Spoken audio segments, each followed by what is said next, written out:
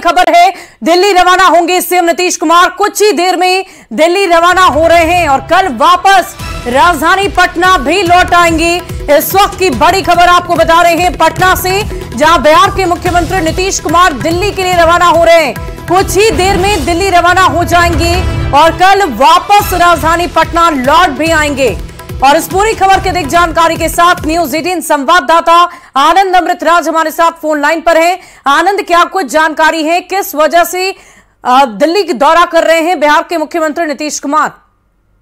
देखिए अब कुछ देर के बाद बिहार के मुख्यमंत्री नीतीश कुमार दिल्ली रवाना होंगे और कल शाम पटना भी लौट आएँगे। और ये उनकी यात्रा है, कोई राजनीतिक यात्रा नहीं है। ये उनका व्यक्तिगत यात्रा है और व्यक्तिगत कारणों की वजह से वो दिल्ली जा रहे हैं।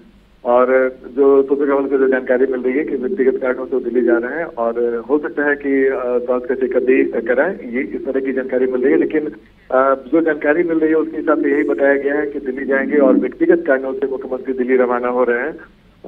चूँकि मुख्यमंत्री जब दिल्ली जाते हैं तो कई तरह की सियासी खबरें आ जाती हैं, लेकिन फ़िलहाल जो जानकारी हमें मिली है उसके मुताबिक यही बताया गया है कि मुख्यमंत्री की यात्रा व्यक्तिगत यात्रा है।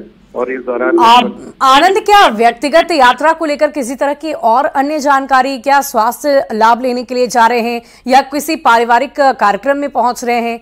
कोई ऐसी कोई जानकारी आपके पास?